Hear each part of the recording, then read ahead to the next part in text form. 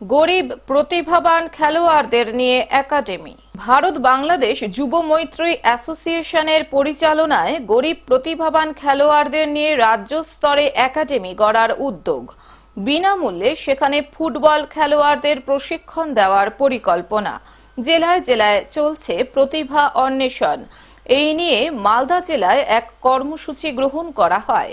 শুক্রবার রাতে মালদা শহরের বৃন্দাবনী ময়দানে খুদে খেলোয়াড়দের প্রশিক্ষণ দেন জাতীয় দলের প্রাক্তন ফুটবলার তথা ভারত বাংলাদেশ যুব মৈত্রী অ্যাসোসিয়েশনের কার্যকরী সভাপতি বাস্তব মিত্র। তিনি বলেন, দুস্থ ছেলেমেয়েদের বিনামূল্যে প্রশিক্ষণ দেওয়া হবে কোচিং ক্যাম্পে। জেলায় জেলায় অ্যাসোসিয়েশনের উদ্যোগে তৈরি হবে কোচিং ক্যাম্প।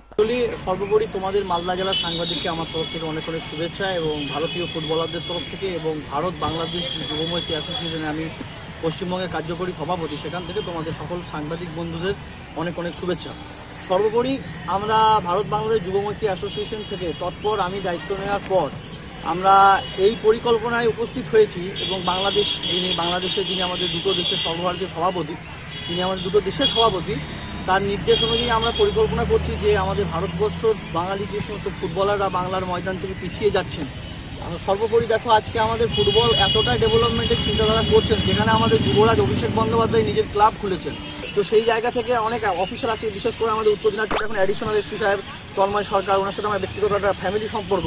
তিনিও আমাকে পরামর্শ দিলেন যে বাস্তবে এটা নিয়ে তোমরা ভাবো, কারণ বাংলার ফুটবলারকে, ফুটবলকে একটা সমীহ ভারতবর্ষ তথা বিশ্বের দরবারে নিয়ে যাওয়ার চেষ্টার পরিকল্পনায় আমরা উপলব্ধি করতে চাইছি।